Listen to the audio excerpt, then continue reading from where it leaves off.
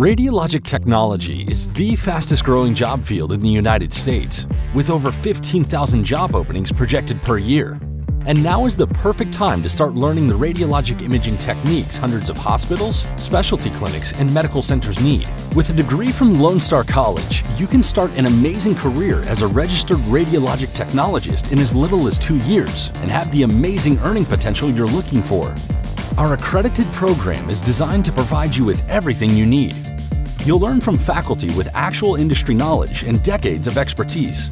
Hours of guided hands-on training in every area of radiologic technology in our state-of-the-art labs, plus real-world experience, participating in clinic rotations, and taking diagnostic images. At Lone Star, we can help you see through the obstacles in your way and start your journey in this high-paying field. We know because we've helped thousands of students do it already, and we can help you too. What are you waiting for? Start your journey today at Lone Star College, where your future begins. Visit lonestar.edu forward slash programs to learn more and apply now.